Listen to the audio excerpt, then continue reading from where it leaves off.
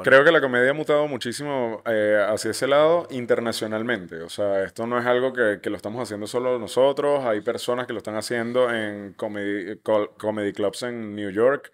Hay personas que lo están haciendo en México. Hay muchos que lo están haciendo en Chile. O sea, es como algo que se está dando y, y que la gente también aprecia muchísimo porque el, la gente se da cuenta del, del valor que tiene la improvisación en el momento. Claro. De bueno, yo te di una información y tú hiciste algo con esa información, la gente lo valora muchísimo, más allá de que tengas una, una rutina armada. Y además el límite eh, que tú siempre estás rozando con el humor y las sensibilidades que puede afectar puede Claro que- considerarse riesgoso incluso. Sí, sí, sí, totalmente. Yo creo que estamos en, en un punto donde, donde la comedia es un oficio casi riesgoso porque es muy fácil Sí. eh, saltarte un límite, además que con, con el calor de la tarima, con, Sí. con ese momento te provoca que- decir cualquier cosa. que estás en la adrenalina, tu objetivo es la risa. Yo creo que aquí hay una oportunidad de, de aportar valor desde mi área de experticia y además, como también tengo tiempo trabajando en agencia, no me quedaría solo con el contenido creativo, también tengo otras cosas que aportar.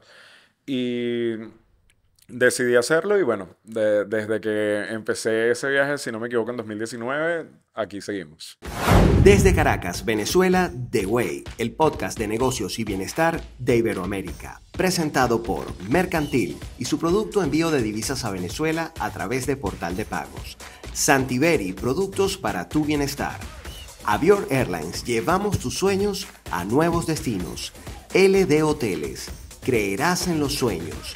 Nogark, vanguardia en diseño y arquitectura. Y en alianza con Minds Cowork, Bionix y Aldana Laser Center. Nuevo episodio en The Way, yo soy Álvaro Pérez Catar. Como siempre la invitación es a que se suscriban a nuestro canal, allí van a recibir actualizaciones frecuentes sobre los nuevos episodios.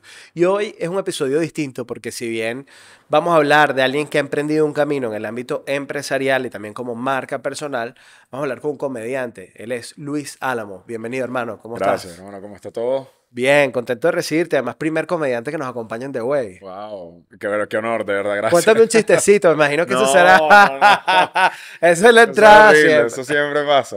Ya yo dejé de decir que soy comediante cuando me para una alcabala de la policía porque siempre me piden eso y no sé qué decir. Por- hermano, no tiene el mood, no sé cómo, no sé qué decir. Porque además el, el- el tema de, de ser comediante no necesariamente pasa por contar chistes, que es la forma en la que tú lo haces. Exactamente. O sea, hay- solo que la gente como que confunde como que, ah, ok, tú eres un cuentachistes. Ajá, claro. Y, y como que se esperan que, no sé, uno va a siempre algo de. Jaimito o, Ah. o tenga algo preparado ya para cada ocasión y no es así. Uno también trabaja el material, uno lo pule, lo, Claro. lo, lo corrige. Lo pruebas. Lo pruebas con focus group de comediantes y después lo pruebas con un público para ver si funciona. Tú sabes que yo he estado en muchos contextos con el profesor Briseño por distintas razones. Ok. Y a veces, profe, me disculpa, insoportable que el pana está todo el tiempo probando material Todo con el uno. tiempo, todo el tiempo. Lanza una y otra y si te riaste, así funciona. Esto va para el Sí, sí, sí. Él está hablando contigo normal y tú Ajá. crees que es normal. Ajá. Pero en realidad no está hablando contigo normal. Él está tomando notas. Entonces, él te va echando un cuento de cualquier cosa y tú Sí, le sigues sí. la conversación normal y de repente si te ríes, él saca una libretica y ok, funcionó. funcionó. Y es como que, pero profe, yo pensé que estábamos hablando y ya. Pero además tú has venido explorando recientemente un género en la comedia que va más en la improvisación, porque he visto que tienes un formato Sí. junto con Sampins y con otro chamo, Alejandro López. Alejandro López, que es como de, de atajar lo que la gente les va rebotando en el público. ¿no? Creo que la comedia ha mutado muchísimo eh, hacia ese lado internacionalmente. O sea, esto no es algo que, que lo estamos haciendo solo nosotros. Hay personas que lo están haciendo en comedy, comedy clubs en New York. Hay personas que lo están haciendo en México. Hay muchos que lo están haciendo en Chile. O sea, es como algo que se está dando y, y que la gente también aprecia muchísimo porque el, la gente se da cuenta del, del valor que tiene la improvisación en el momento. Claro. De bueno, yo te di una información y tú hiciste algo con esa información, la gente lo valora muchísimo, más allá de que tengas una, una rutina armada. Pero al final es un reto porque no siempre va a salir bien, digamos, si estás completamente en vivo, claro, lo estás rebotando cuando tienes compañeros, pero, pero está... Sí, estás ahí en, en- caliente, pues. Estás en Puede salir muy bien o puede Puede salir salir un tomatazo por ahí. Claro, claro, Sí. totalmente. Pero yo creo que también lo importante es tener como como tu caja de herramientas, Ah, donde ya tú dices, bueno, yo tengo un chiste de mecánicos, entonces si de repente te pregunto qué te dedicas tú y me dices que eres mecánico, digo, perfecto, ya aquí Claro. puedo conectar esto con esto y te voy llevando a mi chiste que ya yo tengo probado con público claro. y te doy la sensación de que yo te creé ese chiste de mecánico en el momento. Claro, que estaba Entonces, improvisado y no claro, necesariamente. y no es necesariamente es improvisado. Por ahí yo recuerdo Chatén diciendo que la mejor improvisación es la que no se improvisa y que él Sí. escribía todo lo que decía en sus programas y la gente al principio de su carrera tenía como la impresión de que todo era improvisado y no necesariamente es así. Sí, no, él es, él es un tipo, yo no lo conozco personalmente, pero sí sé de buenas referencias que es un tipo súper metódico y que siempre trata de tener una estructura en todo lo que está haciendo y yo, yo creo que él deja muy pocos espacios Para la la- para la improvisación. De todas formas, a mí sí me gusta la improvisación, me gusta ese... eh, Estar el- la, la sensación de estar en el juego, ¿sabes? Que uno tiene que estar como concentrado y estoy en el juego y es como cuando estás jugando fútbol, si te pasan el balón, tú tienes que hacer algo con el balón y, y capaz puede ser un gol. Claro. Solo claro. que bueno, también hay veces que dices La algo y adrenalina es no increíble. funciona tanto. Sí. Yo lo, di- lo, lo viví, lo viví. Mucha gente no sabe esto y primera vez creo que en mucho tiempo que voy a hablar del tema. Ok. Yo tuve un, un programa de radio con Melissa Rousseau y Reuben Morales. Ok, claro, Reuben el profe. Eh, Reuben, sí, hoy en día es el profe, pero en ese momento era un comediante que estaba incipiente y- Claro. y, era muy bueno, por ejemplo, en clown y en distintas técnicas del humor. Un Sí, crack. tiene muchísimas herramientas de improvisación teatral, Es un crack. de clown, de, Sí. de- de todo. Pero de todo, todos nosotros, Melissa había sido productora del show de la mañana y Reuben es comediante. Yo era el único que no me había metido con la comedia y teníamos un programa que se llamaba Piensa y hágase rico. Entonces era como hacer sátira de que cada uno como que interpretaba una visión sobre el dinero. Ok, Todos los días. sí. en sí. prime time en una emisora aquí en, en Venezuela. Y es, re- realmente es un reto estar en vivo y además el límite eh, que tú siempre estás rozando con el humor y las sensibilidades que puede afectar puede Claro que- considerarse riesgoso incluso. Sí, sí, sí, totalmente. Yo creo que estamos en, en un punto donde, donde la comedia es un oficio casi riesgoso porque es muy fácil Sí. eh, saltarte un límite, además que con, con el calor de la tarima, con, Sí. con ese momento te provoca que- decir cualquier cosa. que estás en la adrenalina, tu objetivo es la risa y a- hay veces que dices cosas que realmente no, no quisieras transmitir, Que no piensas. que no, porque no lo estás pensando. Tu, Que tu tú, o sea, que tú no estás dentro de tus valores, sino que da- Exactamente. te da risa. Es como cuando uno se ríe internamente de una situación y dice, ¿por qué me estoy riendo Eso. que alguien se cayó? Exactamente. Que no, la- este señora se desmadró contra una puerta de vidrio y me quiero reír, Sí. pero al mismo tiempo la quiero ayudar porque dentro de mis valores está ayudarla, preguntarle si está bien, darle un agua con azúcar porque si no se me desmaya la señora. Pero por otro lado también te da risa. Y, y eso en el calor de la tarima a veces te sale Sí. reírte de cosas que, que capaz puedan estar eh, ofendiendo a alguien o hiriendo la, hiriendo la sus- susceptibilidad de alguien. Sí, el otro día vi un TikTok de George Harris. Saludo al pana George, que además la, ha hecho un trabajo increíble a nivel internacional. No, además que yo lo considero Ajá. un crack y disculpa que te interrumpa, pero Ajá. el tipo se lanza 40 minutos mínimo de cosas completamente nuevas a la semana y eso de verdad que tiene un mérito impresionante. sin duda. Y además, ¿sabes lo que más me, me parece valioso? George construyó una carrera después, como comediante después de ser un adulto. O sea, no fue. Sí. Y después de haber tenido eh, otras opciones. Por ejemplo, él empezó siendo actor y, e incluso interpretó drama. Yo lo conozco hace muchos años y, y vi crecer en el tiempo la carrera como comediante, pero para mucha gente no es fácil, ya siendo un adulto, iniciar un camino nuevo y él lo hizo y lo hizo de forma exitosa. Y lo hizo exitosísimo. Pero, claro, George siempre está al filo de la navaja. El otro día vi un TikTok donde él decía, yo sí me meto con los gordos, ¿y qué? Sí, Y, y no es que tengo algo con los gordos, es que tengo algo con todo, porque ¿de qué nos vamos a reír? ¿No? claro. ¿De qué nos vamos a reír si no es de lo que pasa, ¿no?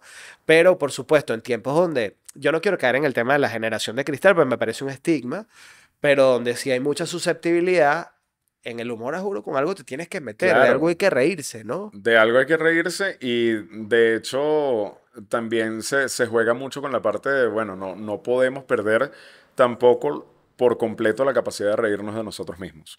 Yo sé que también hay, hay cosas que sí son muy serias y de las cuales no deberíamos reírnos. ¿Cómo que? Eh, por ejemplo, para mí el el límite está establecido en algo que realmente pueda hacer llorar a alguien. Ok. O sea, que al- algo que realmente te hiera tan profundamente que pueda hacer llorar a alguien. Eh, la pérdida de un ser querido. Me parece que es algo, un tema no súper se- difícil de abordar porque yo no me puedo reír de ti porque perdiste a un familiar hace dos semanas. Eso estaría súper mal.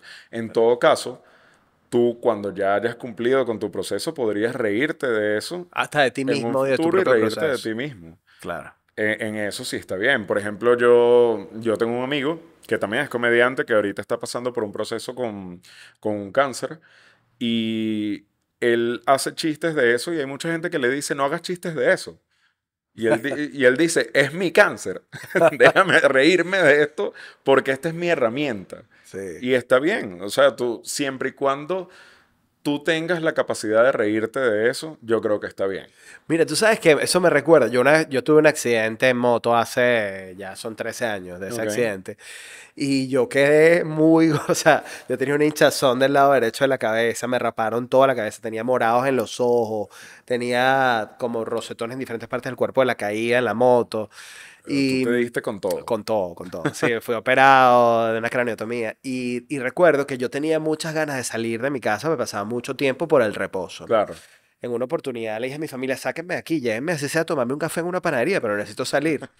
Y salí. Y cuando estoy en la, en- sentado en la panadería, estaba el señor de la panadería que me veía frecuentemente Ok. y por primera vez me veía así. Yo recuerdo la risa que me daba a mí ver la cara de él viéndome. Entonces Claro, mi familia claro. me decía, ¿por qué te ríes? Porque Entonces- el tipo no sabe cómo lidiar con eso. con, con mi tragedia, a mí me daba risa. Entonces, claro. Esos, son, esos son los momentos en los que es completamente válido reírse hasta de las tragedias, ¿no? Total, Creo yo, ¿no? total, totalmente. Y incluso a, a mí me ha pasado que, bueno, por ejemplo, yo he visto gente que se puede ofender porque le hacen un chiste de que se está quedando calvo. Ajá. Y yo la verdad es que me parece que eso es una línea que se puede tocar sin ningún tipo de problema porque, porque, ajá, yo estoy calvo y yo puedo hablar desde mi experiencia y me puedo reír de mi calvicie y no pasa nada. Claro. ¿Sabes? Es como ir también un poco midiendo los públicos y entendiendo, so- solo que eso es una línea dinámica. Eso Y no que es una y línea... es tan dinámico como tú dices, que por ejemplo, en la generación de mi papá y probablemente la de tu papá, eh, hacer chistes de gallegos o de homosexuales era totalmente permitido. No, y graciosísimo. Y la Y gente se muy tortillar de la gracioso. risa. Claro, y además tú ves, eh, no sé, rutinas de comedia vintage de los grandes Claro. comediantes del país, y hay mucho de eso y te puedes reír.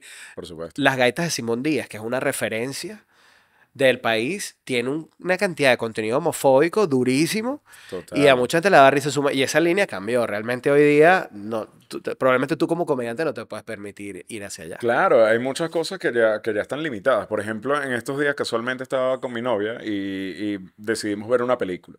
Y yo le dije, mira, vamos a ver una película que yo vi hace muchísimo tiempo, que a mí me gustaba demasiado y me daba risa. Pero llevo tanto tiempo que no me acuerdo de casi nada de la película. Entonces vamos a verla. Se llama Eurotrip, Ok. que Euroviaje censurado, algo así. Ok, ok. Y cuando la terminamos de ver, los dos estábamos de acuerdo y que, ok, esta es la película más funable en la actualidad posible. Está en Netflix si la quieren ver. Y nos dimos cuenta que, bueno, en ese momento esto era gracioso, esto daba risa y esto estaba normalizado. Claro. Y ahorita, bueno, hay ciertos límites que no te permiten burlarte de ese tipo de cosas porque ya se da cuenta, ya uno se da cuenta que involucra, los chistes involucran situaciones reales que son dolorosas para la gente. Tan es así, pero por otro lado, hay gente que sabe capitalizar también el humor alrededor de su propia tragedia. Total. Que uno de los ejemplos para mí claves en este sentido es Michael Melamed. Total. Michael es increíble porque es la persona, él tiene la capacidad de reírse de sí mismo más que cualquier otra persona, de lo que, de- más de lo que cualquier otra persona se puede reír de su propia historia. Me acabo de acordar, por ejemplo, de una foto que él mismo publicó. Él lo invitaron a la alfombra a- del Miss Venezuela. Ok. Y él, y él caminando por el alfombra de Miss Venezuela, le toman la foto justo en un punto donde atrás está el logo de Miss Venezuela, que es como una coronita. Ok. Entonces la coronita le queda a él En la pues, en la cabeza, cabeza. Entonces, yo yendo al Miss Venezuela, o sea, solo Michael. O sea, Michael es el tipo que te manda stickers de él bailando claro, así. Claro, Entonces, es que claro, Michael es o sea, graciosísimo. Eso es inteligencia. De ¿no? hecho, Michael hizo comedia. Él fue Claro, hizo- invitado a Pispa, a la quema. a la quema de Pispa, Claro. que la quema es un formato donde se reúnen cinco comediantes y hacen chistes de la persona. Ajá. Y después la persona tiene como que la oportunidad de, de vengarse Sí. y hacer chistes de todos nosotros. Y Michael Sí, sí. limpió el piso con nosotros después con los chistes. Los chistes estaban buenísimos. Y la forma en la que los relató también estaba increíble. Entonces, él, él tiene esa capacidad de reírse de sí mismo. Claro, eso, eso es una forma de inteligencia. Pero el ejemplo de Michael es bueno porque yo he visto muchísima gente que se ofende por Michael.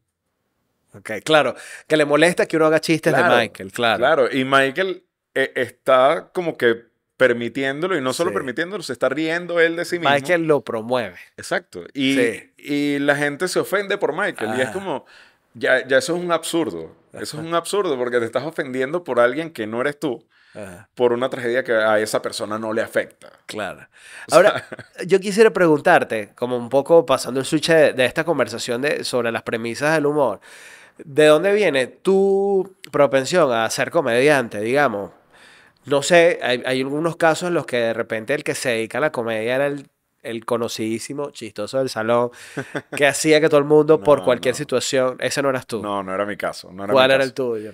Eh, yo, yo no era para nada el cómico del salón, o sea, yo sí tenía un amigo que era claramente el cómico del salón y era graciosísimo, pero yo no, yo no era esa persona. Y de hecho me he dado cuenta que es como un factor común en, en los comediantes. La, la mayoría eh, s- solemos ser tímidos, la verdad, bastante...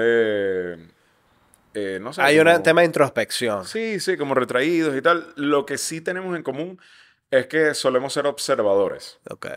Somos muy observadores está mirando el teatro humano. del entorno, exactamente. Entonces yo era más como el tipo que se quedaba observando y lanzaba el comentario en el momento. Porque a mí me importaba más como que lanzar el comentario en el momento apropiado, Ok. conectando varias cosas. Y eso era lo que a mí me gustaba hacer cuando, cuando era chamo, incluso en la universidad.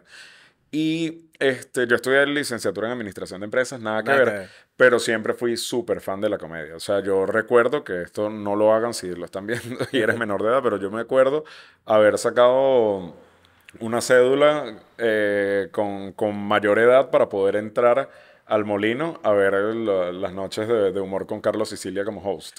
Claro. Porque yo tenía Era la 17 época en la que había un bar. circuito en, en, en Venezuela, hay que decirlo, en la ciudad de Caracas estaba el, el Moulin Rouge, eh, El Moulin Rouge. eh, que, que la llevaba Carlos Sicilia, está el teatro que la llevaba George Que Harris. lo llevaba George Harris. Y- Exactamente. Y a los dos yo me iba. Claro, eran y- los lunes George Harris, los jueves eh, Carlos Sicilia. Exactamente. Ajá. Exactamente. Y todo full. Incluso lo, lo llegaron a transmitir por, eh, por Canalí, si no me equivoco. claro, el de Sicilia. El de sí. Sicilia. Sí, y, sí. y a mí me encantaba, era increíble. Y yo vi a Led Varela en sus comienzos cuando tenía el cabello largo y usaba como franelas de metalero. Este, yo llegué a ver ahí también a, a personas como Reuben Morales. José eh, Rafael, José estaba- Rafael ellos trabajaban en. Plop y, y tenía. José Rafael ontólogo y, y a la Y vez Daniel Pistola. Daniel odontólogo. Pistola, claro. También lo, lo llegué a ver ahí, veía Briseño. Bobby Comedia. Bobby Comedia. Bobby era como uno de los más consolidados de la época, Sin duda. pero, pero también estaba dentro del circuito. Exactamente. Y bueno, yo, yo los veía todos allí y siempre decía, esto que hacen ellos es mágico. Sí. O sea, esto es magia, esto es increíble.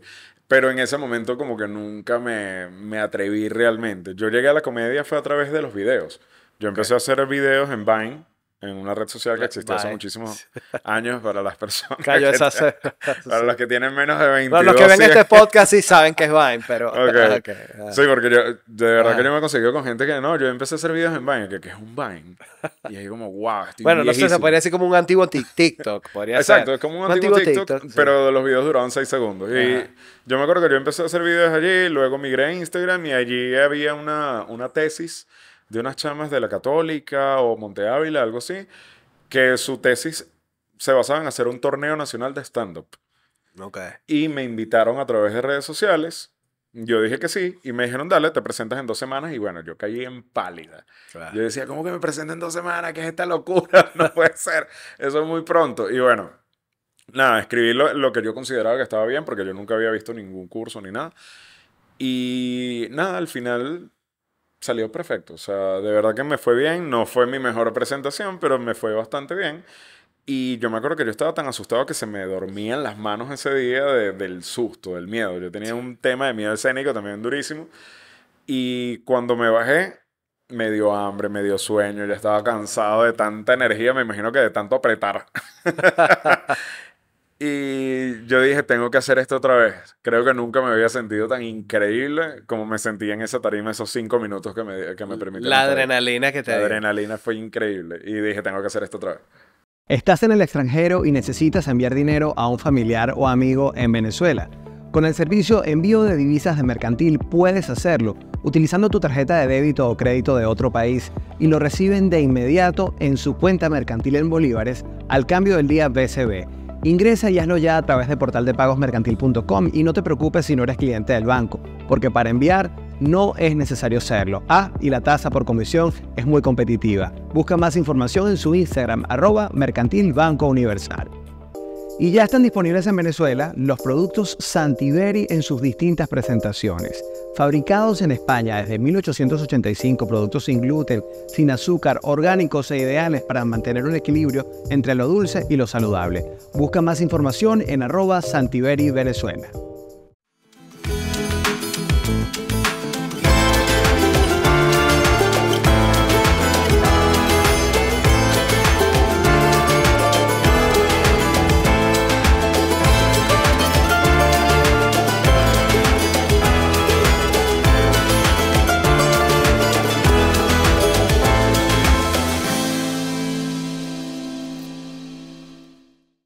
Mi nueva página web la diseñé con Bionix, un equipo que cuenta con más de 10 años de experiencia y te ayudarán a transformar digitalmente tu negocio. Desarrollo de software, sitios web y apps son algunas de las cosas que pueden hacer por ti. Si quieres más información, ingresa en www.bionix.com o síguelos como arroba Bionix.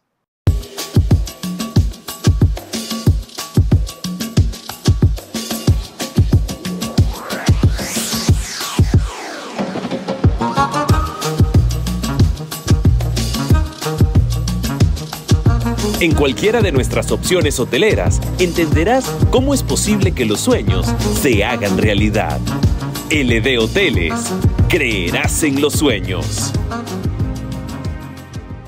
Pero mira, yo me imagino que en algún momento te va a haber ido terrible. ¿Por qué te lo pregunto? Ya me estás diciendo que sí. Sí.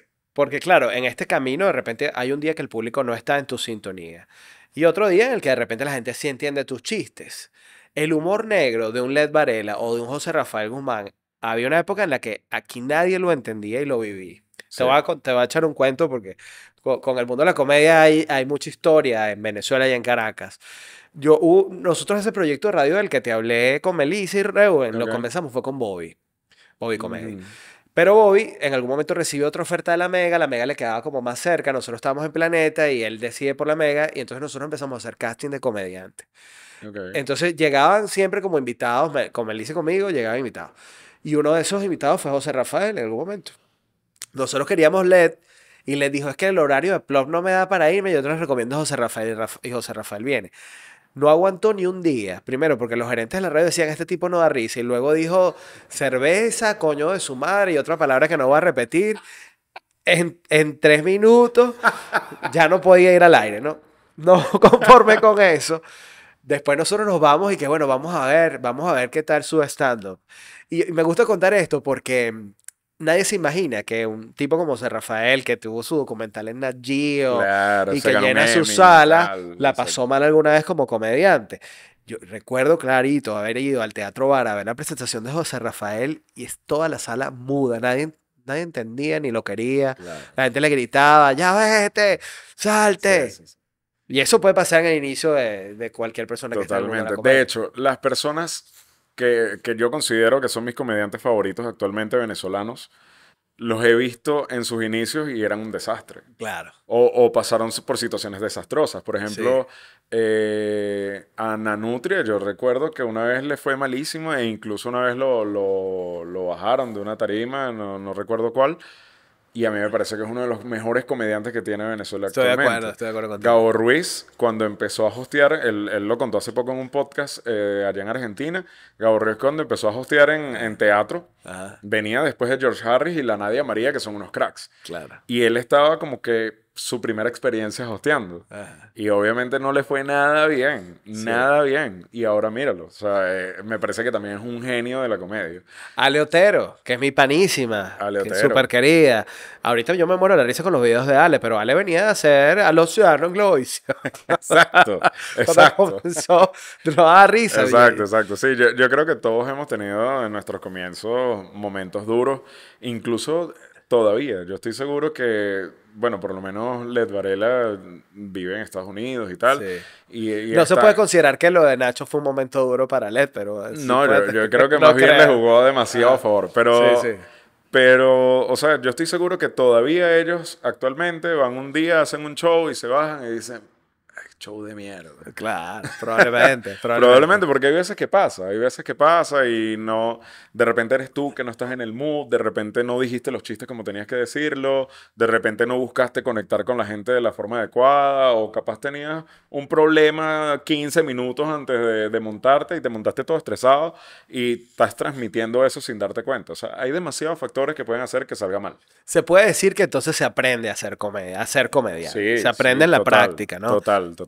Pero en tu caso de repente eres así, eras el chavo del salón que de repente hacía el comentario que unía los puntos, pum, pero no estabas constantemente llamando la atención o no necesariamente era evidente el- esa propensión a ser comediante. Ahora, brother, tus padres sí la tienen. Sí, sí, sí. Mis padres son comediantes natos, Sí. natos, natos, natos. Sobre todo mi papá. O sea, él, él es una persona que de verdad creo que no puede pasar un minuto sin decir un chiste, Ah. ni siquiera en las peores situaciones. O sea, yo estaba en las peores situaciones con mis papás y mi papá siempre busca la oportunidad de lanzar un chistecito. Ok. Y yo más de una vez he estado llorando y al mismo tiempo riéndome por algo que dijo mi papá, porque siempre e- es, como, yo creo que eso viene de la casa, porque es como la herramienta que tenemos nosotros para lidiar con los momentos difíciles. Claro. Siempre, siempre ha sido así. Y es como que el- eh, ese fue mi aprendizaje, esa fue mi crianza. Mi papá siempre utilizó la, la comedia como para aligerar los momentos difíciles y para alegrar más los, los felices. Y yo creo que crecí mucho con ese chip de, de, ok, yo creo que esta es la herramienta que, con la que me caso y con la que voy a durar para toda mi vida. Eh, Y lo digo no porque conozco a tus papás, sino porque obviamente te sigo y, y veo tus contenidos y en una etapa de tu vida aprovechaste, sobre todo creo que en la pandemia, de generar muchísimo contenido. De, con de ellos, hecho, ¿no? más bien creo que en la pandemia fue donde, donde, Donde tuve, vino- sí, donde tuve más bien el bajón, porque obviamente me daba miedo visitar a mis papás con el tema de la pandemia, había demasiada desinformación en ese momento, Claro. uno no sabía, uno pensaba que los tocaba así, ya los Sí. contagiabas tres veces, entonces era como, mira, yo, yo creo que mejor no los visito tanto, me acuerdo que les mandaba al mercado con, con un motorizado para no estar en, y les decía, échenle alcohol a todas las bolsas, como te digo, la desinformación, uno pensaba cualquier cantidad de estupideces.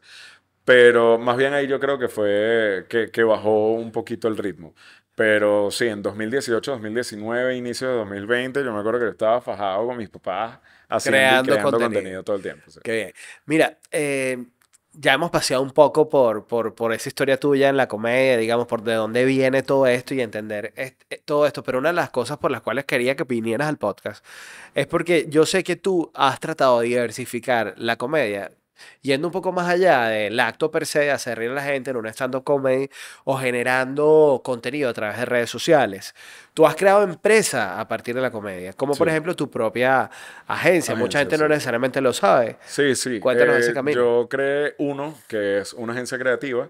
Eh, básicamente empecé la agencia porque ya tenía pedidos sin tener la agencia creada. O sea, ya, ya tenía clientes, personas que me decían, mira, ¿tú será que me puedes resolver, no sé, tengo bloqueado el tema de los ads? Y es como, sí, o sea, yo sé hacer eso, yo he estudiado eso, yo tengo más de ocho años trabajando en agencias de, de marketing digital. Y es como, sí, yo sé hacer eso. Eh, mira, ¿sabes cómo segmentar? Mira, te puedo enseñar, pues. O sea, se hace así, se hace así. O mira, yo necesito un guion para una pauta específica que vamos a tener con mi marca. ¿Tú será que puedes hacerlo? Y yo, por supuesto que sí. De hecho, eh, eh, hay- no soy el único comediante que, que emprende de esa manera. Por ejemplo, Ricardo del Búfalo Sí, Ricardo es, también es claro, un gran escritor. Eh. Gabo Ruiz también ha sido De gran hecho, son, guionista eran los guionistas de los premios Pepsi, los premios Ricardo y Pepsi. Gabo. Exactamente, Sí. exactamente. Entonces, eh, ya esas cosas iban surgiendo y, y fue como, bueno, yo creo que aquí hay una oportunidad de, de aportar valor desde mi área de experticia y además, como también tengo tiempo trabajando en agencia, no me quedaría solo con el contenido creativo, también tengo otras cosas que aportar. Y decidí hacerlo y bueno, desde que empecé ese viaje, si no me equivoco, en 2019, aquí seguimos. Y, cuéntanos un poco de esas experiencias exitosas que has tenido a nivel de campañas, por ejemplo, algo que nos puedas contar que en uno hayan desarrollado. Eh, a ver, a ver, a ver.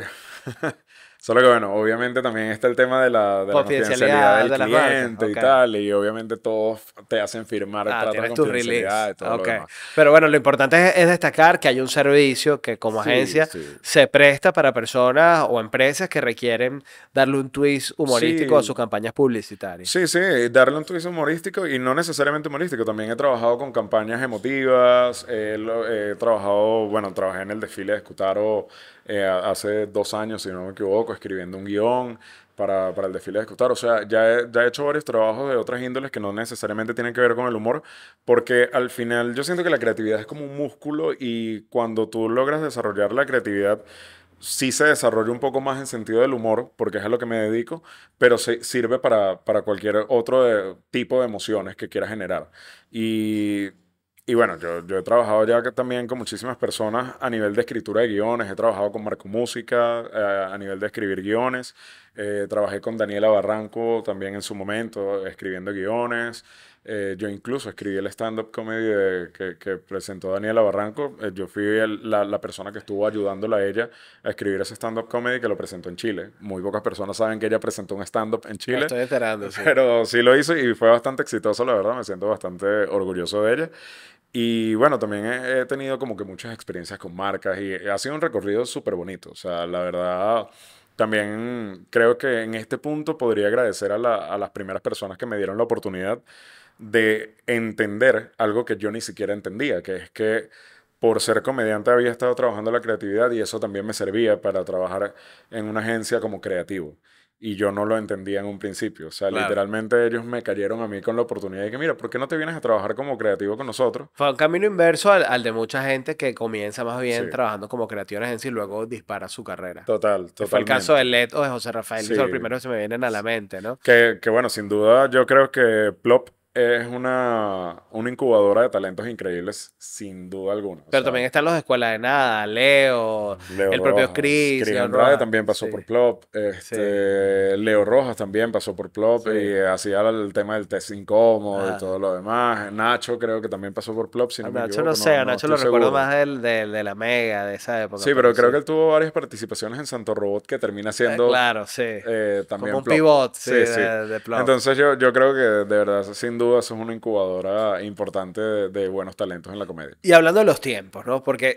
todo esto pertenece a una época que probablemente mucha gente no conoce, para nosotros no es tan lejana, pero nosotros la vimos. Era la época en la que estaba el mostacho y, y, y, ya toda la movida, estaba todo el circuito de comedia en, Caracas, que hoy en día todo se resume a pispa, prácticamente. Pero antes había distintas alternativas y de ahí nació una generación de comediantes. ¿Dónde estamos ahora? Yo creo que ahorita estamos en un momento en el que hay muchísima gente motivada a emprender en la comedia. Se han dado cuenta que, que o sea, ya, ya se toma más en serio como profesión. Yo creo que eso lo, lo tenemos que agradecer a todo el camino que se ha recorrido en el tema de la comedia, desde, digamos, Emilio Laureano hasta la generación de del Watcher, obviamente, hasta la generación de Led Varela, José Rafael, Profesor Virseño, George Harris. Antes, de ellos, Chatén, antes de ellos Chatén. Antes de ellos Chatén, Sicilia. Erika, Ana María. Erika, Ana María. Ah, eh, María Lacelis. También María Lacelis incursionó en la, en la parte del stand-up y, y, le fue Con George. Mucha gente no lo recuerda. sí sí, sí, Pero yo creo que le debemos a todas esas generaciones un trabajo que se ha estado haciendo. Yo espero estar aportando mi grano de arena para que nuevas generaciones también se sientan motivados en, en entender de que, bueno, esto es una profesión, esto, esto es un trabajo como cualquier otro. ¿Se paga, paga bien la comedia? Mm, depende. ¿De qué? Depende, depende de si llenas la sala. Ah. Es literalmente, se, se, trata de llenar la sala. Si tú logras llenar la sala, cobras bien. Si no llenas la sala, no cobras bien y tienes que buscar la forma de de llenar la sala. En estos días estaba leyendo casualmente un artículo, eh, no recuerdo el, el, portal en el que lo leí, es en, en Estados Unidos, que habla de, de que ahora las profesiones tienen que venir atadas a una marca personal. Sí. Y que eso a veces cansa y que a veces te puede generar esa sensación de, coño, estoy quemado. Sí. Yo no, no puedo eh, lidiar con mi arte y al mismo tiempo lidiar con ser mi propio promotor y agente. No, y además que la- el, el trabajo del artista es muy cíclico. Tienes unos periodos de creatividad y otros de introspección. Exacto. Y en una dinámica social y mediática donde a cada rato están cambiando los actores, tú tienes que estar en teoría omnipresente. ¿Cómo lo haces si la vena creativa de repente en una etapa no está? Exactamente. No, y, y eso es así con todo. Con todo Sí. actualmente. Entonces eh, ponían el ejemplo de los músicos, que antes los músicos se dedicaban a crear música. Ah. Ahorita los músicos se dedican a crear marca personal y después música en función de lo que, él dice, lo, de lo que les dice el público. Daniela Barranco es un ejemplo. Por ejemplo, puede- podría ser. Podría ser. este, que, que ella creó su marca personal para poder cumplir su sueño de ser cantante. Sí. Eh, al mismo tiempo, los escritores de libros, ya una, una, edito- una casa de, de Editorial. editorial. ya no te para bolas si tú no eres alguien en redes sociales. Total. Es como que no, porque tú no me vas a vender libros. No Sí. me vas a vender libros. No, pero es que mi libro es buenísimo, es el mejor de todos. Sí, es buenísimo. Lo leí, de pana es el me- el mejor libro que he leído, pero, Pero no, no eres nadie en redes sociales. Sí. Entonces yo siento que el reto que tienen las nuevas generaciones es, es eso. Es precisamente el reto de la marca personal, el reto de, de ser tu mismo agente, tu mismo promotor, ser creativo lo suficiente para poder promocionar lo que tú haces y al mismo tiempo no desenfocarte de, de crear y, y de hacer tu arte bien. Es que hay un escritor que se llama Carlos Rosales, que es venezolano, que dice Claro. personas compran Persona personas. con persona, sí. Y, y yo lo veo de- desde mi propia experiencia como emprendedor. Te, te- eh, te- quiero validar completamente lo que estás diciendo. Yo tengo tres libros publicados y el primero se llama Optimista Yo. Ese libro fue un bestseller en Venezuela porque en ese momento yo tenía una campaña pegada en redes sociales que se llamaba Aquí no se habla mal de Venezuela. Claro, Si yo no hubiera tenido esa campaña, probablemente el impulso del libro no hubiera sido el mismo, ¿no? claro. Y eso aplica para cualquier cosa que tú hagas. Genera el producto una vez que de alguna manera has logrado un posicionamiento y una comunidad que está persiguiendo tus mismos intereses. Pero antes era lo contrario. Antes era como tengo este producto y empiezo a publicitar a través de diferentes medios. Exactamente. Por ejemplo, yo, yo estoy muy seguro que Jerry Seinfeld, por ejemplo, él se encargaba de crear sus chistes. Y él lo ha Sí. dicho en varias entrevistas. Yo me encargaba de crear mis chistes. Sí. Mi agente me conseguía pre- presentaciones. Claro. Poco a poco presentándome. Hasta seis veces por día se presentaba Jerry Seinfeld. Esa era su forma. Qué, qué- qué privilegio. Que, que era una locura. Sí. Pero, pero se, se enfocaba en su arte solamente. Sí, sí. No en promocionar, no en, bueno, ¿qué voy a postear? ¿Qué voy a montar? Si me desaparezco de las historias me baja el engagement, entonces nadie me ve y después nadie me compra entrada. Es un estrés adicional que Claro. es lo que te decía, que creo que es el reto de las nuevas generaciones. El reto de las nuevas generaciones entonces es hacer marca personal antes de presentar una propuesta al mercado. Sí, sin duda, sin duda. O, o trabajarlo en paralelo. Trabajar en paralelo a tu arte con, una, con entender la marca personal. Que yo sé que no es justo, no, no, es, no es algo justo, pero son las condiciones que hay ahorita. Bueno, es que el cambio es lo único constante. Si es lo que hay, con Sí. esto tenemos que bailar. Te voy a invitar un vino. Un vinito. Sí. Bueno, vamos, pues. Bueno, brother, te voy a invitar un vino. Ha sido un gustazo conversar contigo sobre tu camino como comediante y también como un empresario de la comedia, porque al final en eso, independientemente de cuál sea el arte que tenemos cada uno, uno se tiene que convertir como en el empresario de, de su propia, de su propia historia, ¿no? Un pomar Total. frisante, no sé si te gusta el frisante. Sí, Salud, vale, por supuesto que sí. Salud. Y, y nos conocimos mm, en el marco de un encuentro de una de mis empresas de nomadismo digital. Sé que es uno de, tus intenciones, expandir Sí. tu marca y moverte por el mundo. Sí, sí, sin que duda siempre me ha llamado muchísimo la atención y algo que no había comentado también, eh, ahorita estoy trabajando en otro proyecto nuevo llamado Todo Express, Ok. que bueno, ahorita básicamente funcionamos como una importadora con compra asistida, eh, principalmente en los Estados Unidos, trabajamos acá en Venezuela y bueno, yo pronto estaré hablando de ese proyecto al que espero que todo el mundo se sume. Bueno, qué bien, qué bien por eso también. Y yo generalmente cierro, cierro la- las conversaciones llevando a mis invitados a una edad que para mí definió como muchos de mis propósitos. Como esto se llama el camino, bueno, mi camino digamos, comunicacional empezó a los 16 cuando entendí cuáles eran mis intereses, Ok.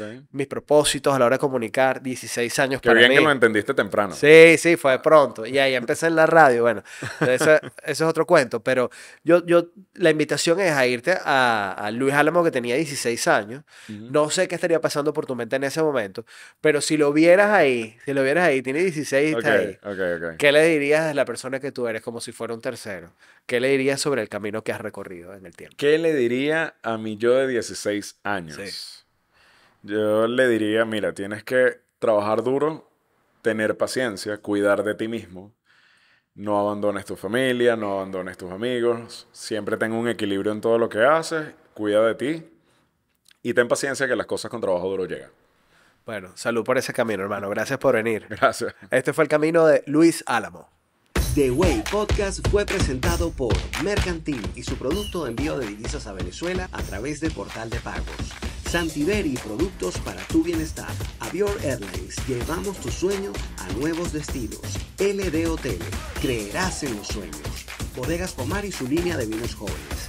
Y en alianza con Minds Cowork, Bionix y Aldana Laser Center.